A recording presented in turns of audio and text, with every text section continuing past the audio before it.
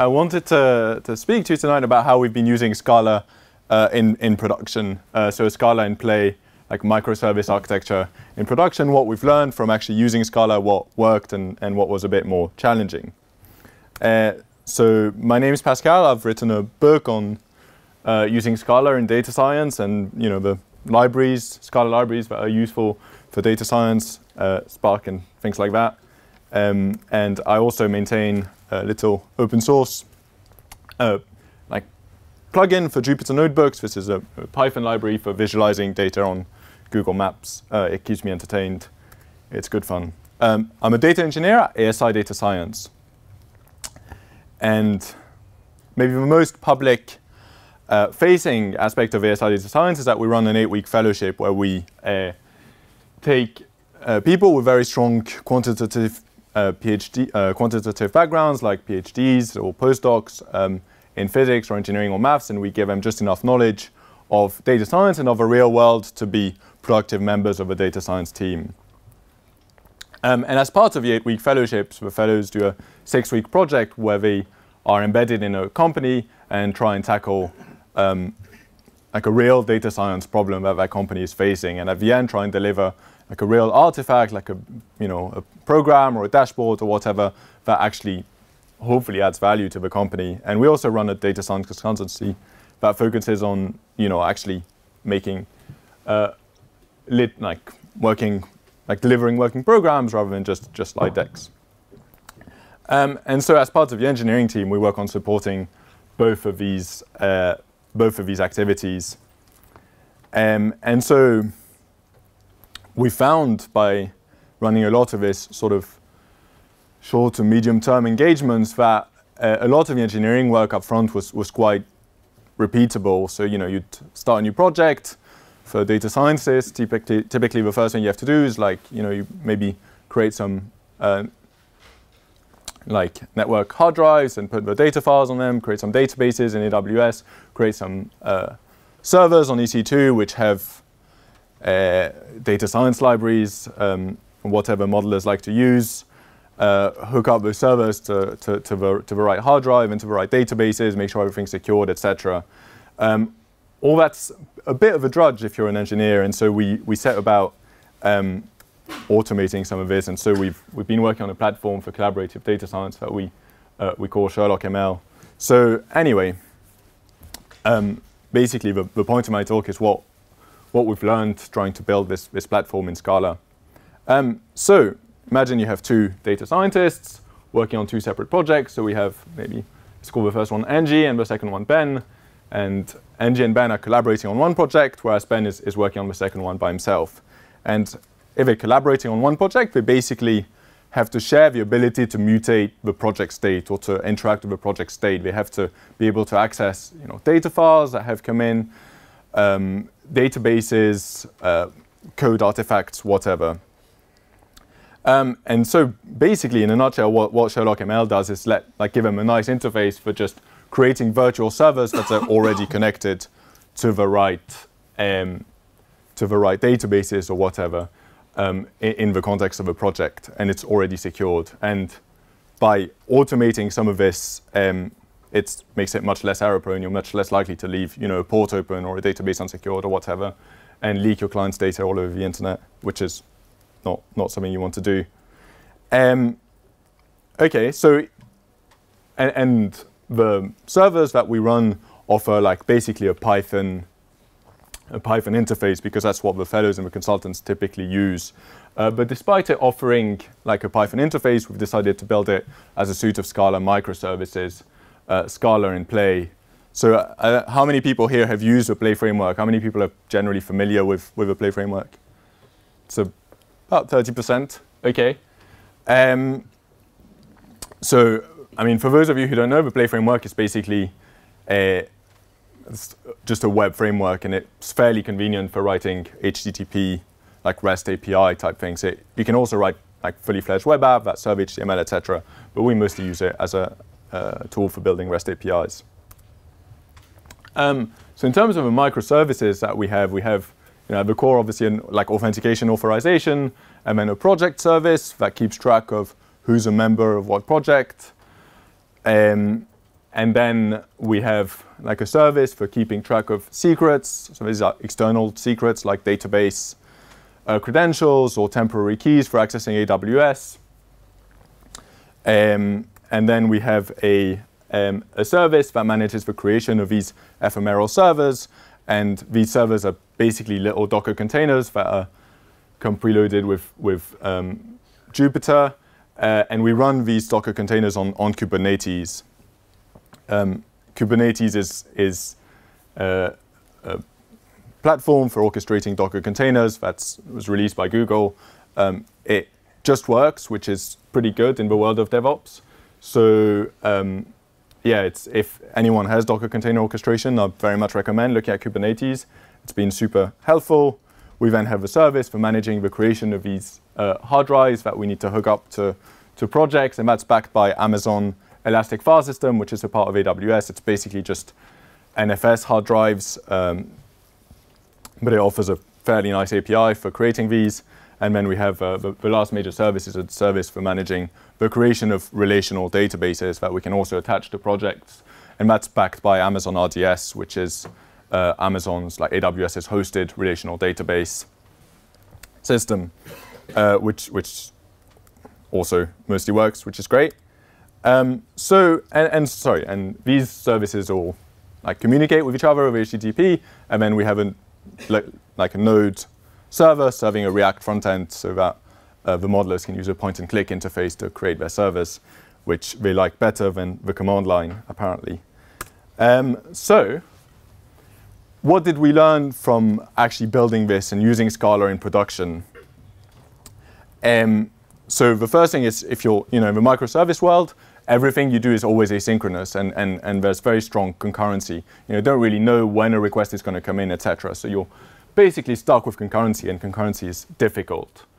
Um, so Scala has great concurrency support natively and then um, we, we use Akka a lot for managing uh, the state in, in like in, in a concurrent environment and, and Akka just offers a very, very nice abstraction in terms of actors, etc., for, for just for keeping track of the state. Otherwise, um, I'm sure many of you know keeping keeping track of state in, in, in a concurrent system is a bit of a nightmare. Um, the other thing that we've learned and, and, and appreciated, I think, as we've as we've matured, is using types uh, everywhere by putting as much information as possible into types. We've um, got much better at basically telling the compiler what we were what we wanted the program to do, and, and so the compiler would tell us when the program didn't actually do what, what we intended. So guess to give an example, let's say we're writing you know, a little authenticate method, uh, and, and maybe a naive way of, of writing this is to pass in you know, the user ID as a string and the password as a string, and maybe you return a Boolean. Um, and you know, that, that definitely works. Uh, the problem is you can get the two inverted the, the, user ID and the password the wrong way around, and the compiler has no way to, to know whether or not you're doing that right.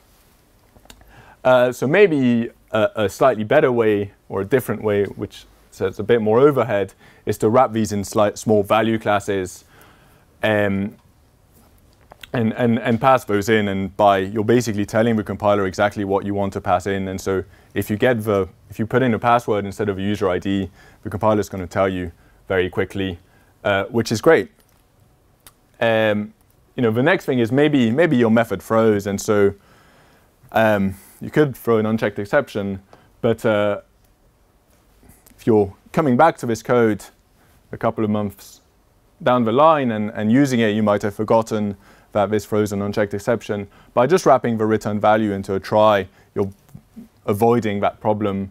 Uh, you're basically forced, anyone using that method is forced to handle uh, the exceptional flow. Uh, so yeah, like embedding information into the types is much better than, than uh, having exceptions at runtime. Um, the last thing that, that we have uh, used a lot, which is, which is nice, is you know, maybe returning a Boolean or a try Boolean is, is, is not very expressive if you're using that.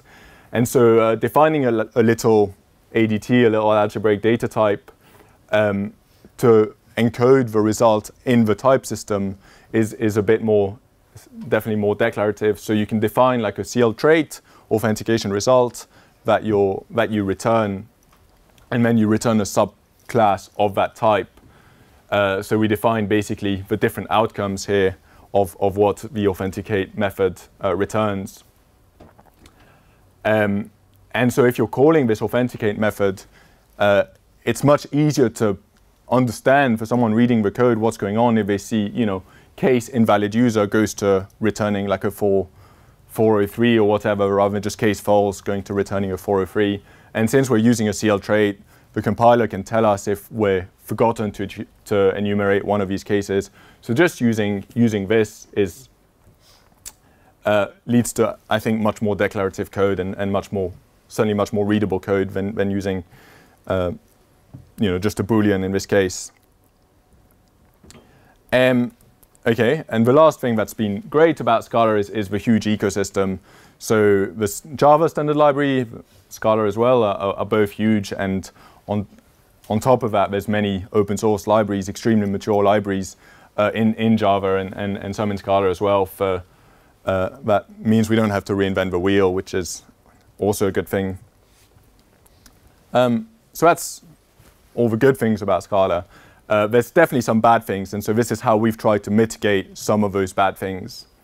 Uh, and, and, Scala is complex. It's, it's, a, it's not a very, not necessarily a very approachable language. Um, there's quite a lot of stuff on Stack Overflow about how Scala is complex. And actually, I think it's a bit unfair to say that Scala is complex. I think it's the real problem is most like programmers are not particularly familiar with functional programming. It's not really the first thing that you learn when you approach programming. And so if you come from like a Python or a Java background, um, a lot of Scala feels quite different. It feels very different. And so it's not really a problem if you're working on a project by yourself, right? You can take the time to discover and use whatever you want. But if you're working as part of a team, if you're working on building a team, then this is, um, a, yeah, a real problem. And so we've been quite, or we've tried to be quite pragmatic about what we've used. So I think you can think about different aspects of functional programming, different, um, sorry, can you all see that? Should I move out of the way? Um, yeah, the x-axis has values. So basically, you can think of functional features along two axes, two dimensions. Um, so basically, I think complexity is how difficult, uh, how much trouble someone who's new to Scala, someone we've maybe just hired, um, how hard are they going to find reading and reproducing code that uses a particular feature of functional programming. And on, on the x-axis, we have values. So basically, it's a bit fuzzy, but how much more readable, how much more, how much more robust maybe does using this feature make your code? Um, and I'm not saying these are the right answers. I think this is just what our impression has been. Um, but basically things like higher order functions and collections, uh, like the huge like collections interface, pretty easy to use, adds a ton of value. Like monadic composition, the fact that like basically all of the container types, expose map and flat map and filter, and you can use these in for comprehensions. Also not that hard to understand once you've understood it, obviously, um, but still.